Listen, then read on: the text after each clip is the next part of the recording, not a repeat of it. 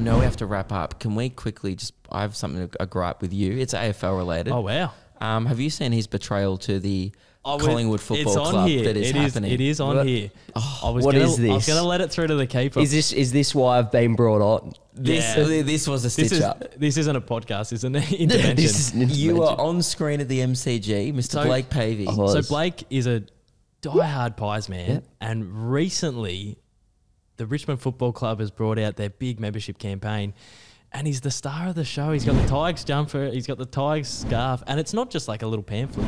No, it's on like Bridge Road. It's He's at the, the, G. face of being a, a Richmond, Richmond supporter, supporter. as a Yeah. Pies man. Have you got anything to say for yourself? Have memberships gone down? They they literally I got a call from the dude I who ran the whole campaign who works at the Richmond Football Club and he rang me up one day like a day after the ad had dropped and he was like mate are you okay? And I was like I'm I'm I'm fine. Like what, what's going on? And he's like we've been getting calls all day because people have found out you're a Collingwood supporter. And we have been getting people not only cancelling their memberships Oh but also set, end of the day, I'm a Collingwood supporter through and through. Also, an actor who will do anything for a bag. yeah. Let's go. So I stand by my actions of that day. I got to sp- we shot it on my birthday.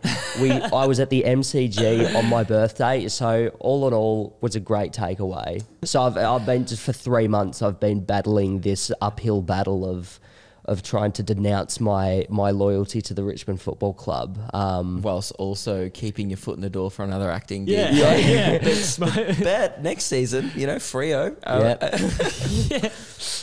That's my goal. Like within the next uh, like little tw- trade 20 years down the line, I will have repped every single football club Yep. in the AFL. yeah. So by then, all 29. Yes. Yeah, great.